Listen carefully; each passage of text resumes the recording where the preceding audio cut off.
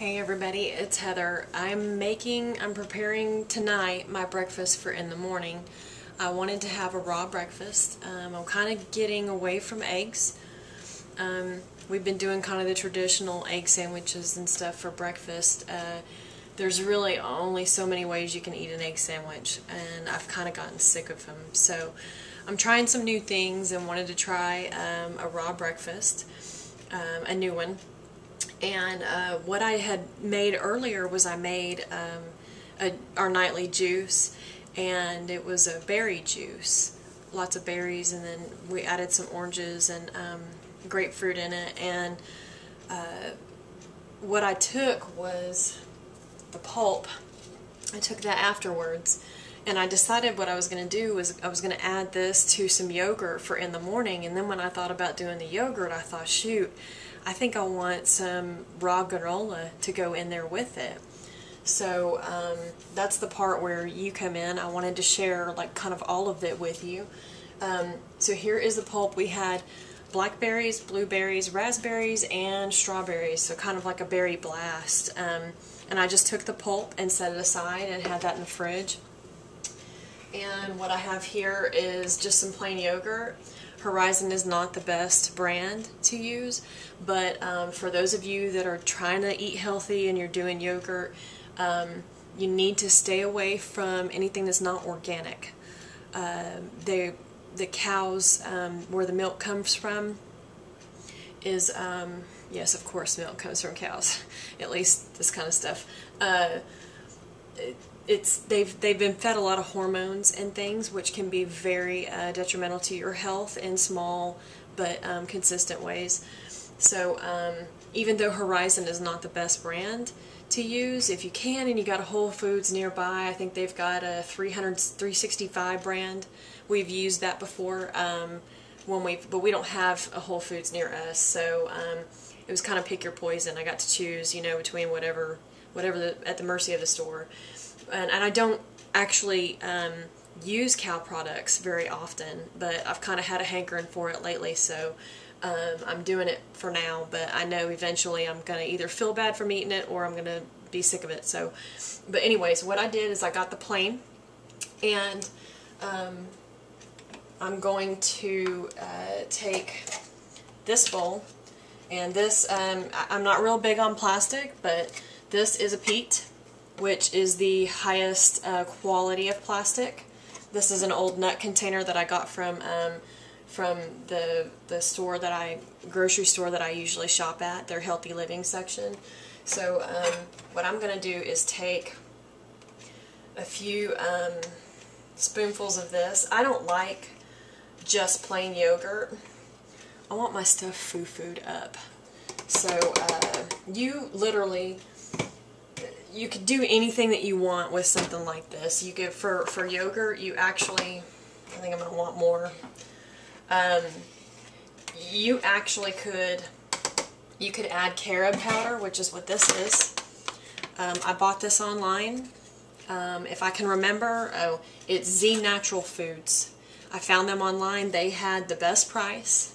They um, appear to be organic and uh, they didn't charge me a ton for shipping, which I was pretty impressed with because most everybody else they charge you the same rates and then they charge you out the butt for shipping. So I was pretty cool with that. Um, so anyways, you could add, if you wanted chocolate yogurt, you know, you could add carob powder, which carob is a lot like um, chocolate. It kind of has the chocolate taste, gives me the chocolate, the feel for my chocolate craving, but I don't have the added caffeine. I know I keep saying that in my videos, but um, I don't know who's watching what, because some people are watching on naturalnews.tv and some people are watching on YouTube. But if you're going to my YouTube channel, I ask you to subscribe. Um, it's Food Equals Med. I think it's Food Equals Medicine. YouTube um, slash Food Equals Medicine. But um, or you can go to my website and find them from there. My website is www.foodequalsmedicine.com. Um, anyways, enough of my commercial. what I also have, and I didn't get out, is um, vanilla. I'm going to add just a splash of vanilla because I like my yogurt to be vanilla-ish. And um, I'm going to mix that up. And it doesn't have any sweeten.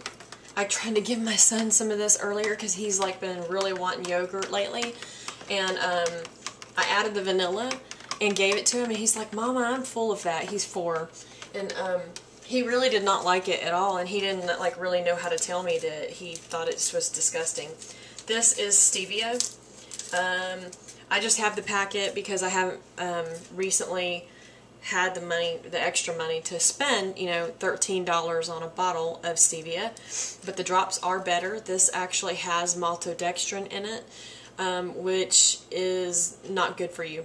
Uh, but, you know, um, I'm the queen of do the best with what I've got where I'm at. So um, I try to just kind of tell people do the best you can. You know, um, you just really kind of have to try to, with, with eating healthy, you have to take steps of faith. You just have to kind of take steps of faith, you know, with, um, that tastes good. And so there's my vanilla yogurt. And then um, I'm not going to add this until in the morning.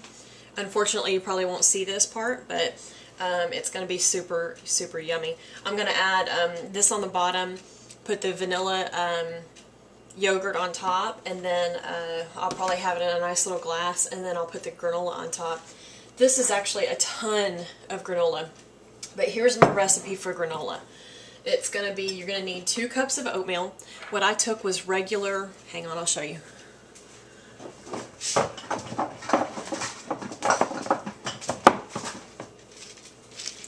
Also being the queen of where I'm at. Um, this comes from the HEB bulk section of um, my grocery store and I can just kind of get it by the scoop. I put a cup of this and I mixed it up.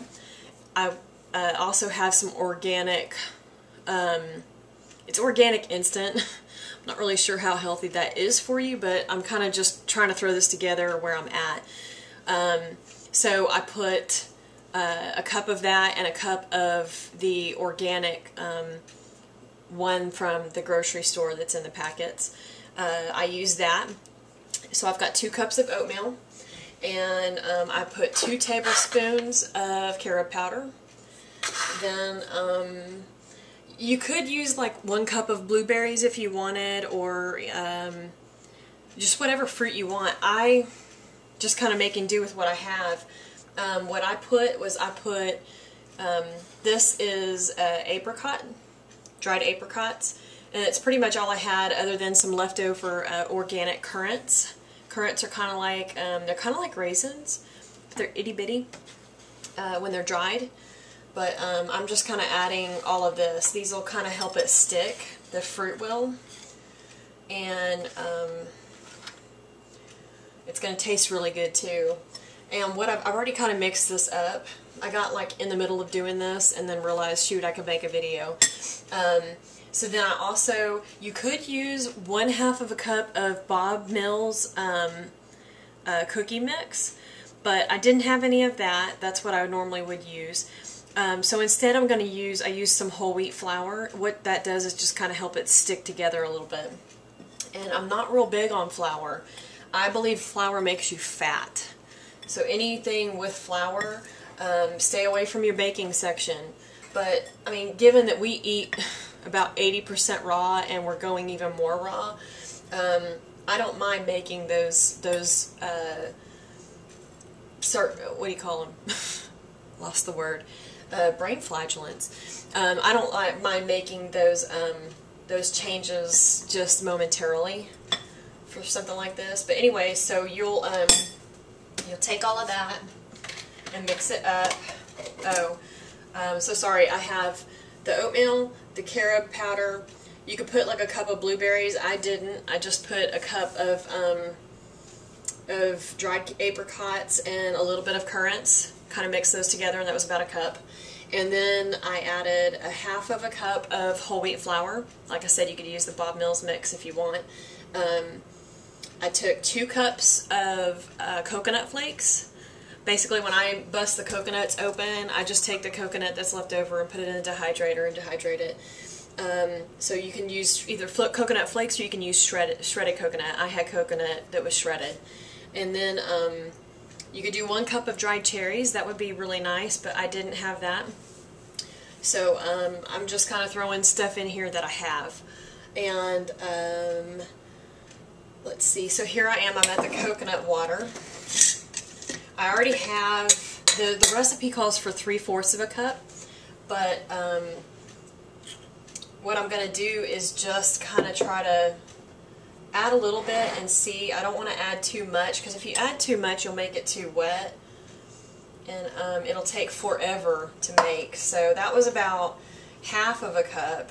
You want it just enough to kind of get it all wet but not too much to make it um, sobby, like like soggy. Yeah, it is going to need a little bit more. So a little bit more.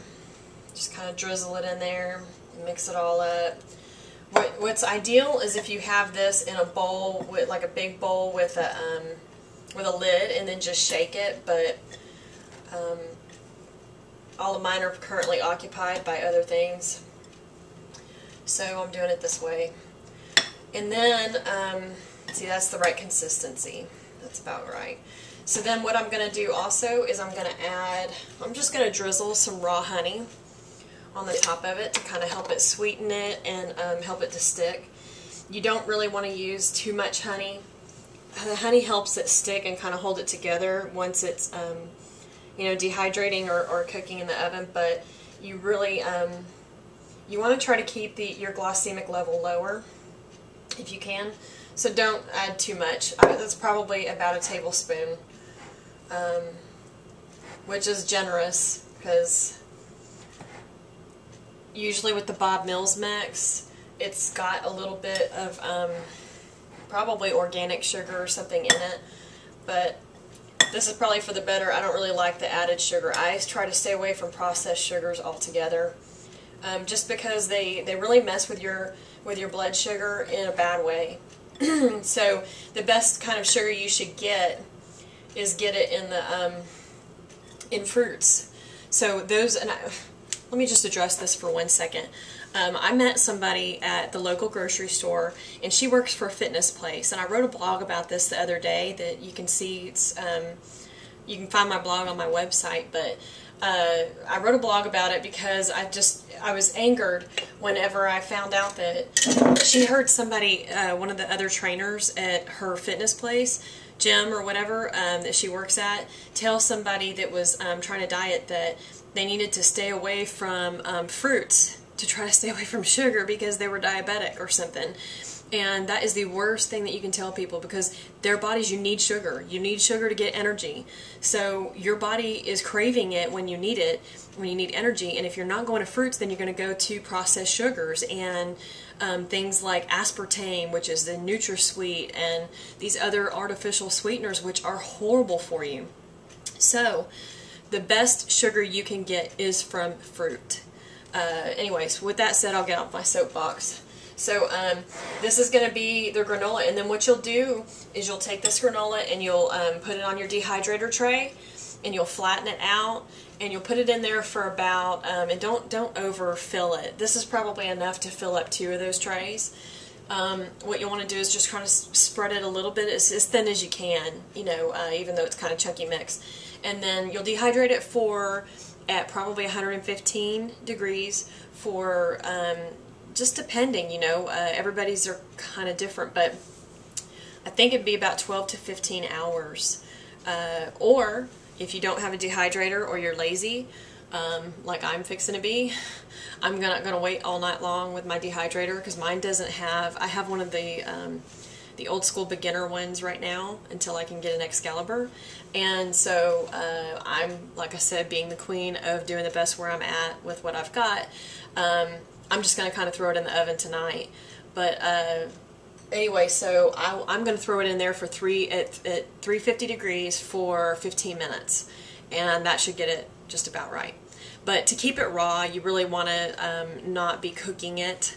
Uh, you want to try to put it in the dehydrator. But anyway, so tomorrow morning my, my breakfast is going to be the yogurt with the um, pulp from my juice so don't think that you are always wasting stuff. You can use this stuff for other things like yogurt, fruit fillings and stuff. And I'm probably going to add a little bit of stevia to this to sweeten it too so it's not sour tasting. But uh, or you can add agave nectar or honey um, to sweeten as well. So, anyways, so that's all I've got. Um, that's raw granola.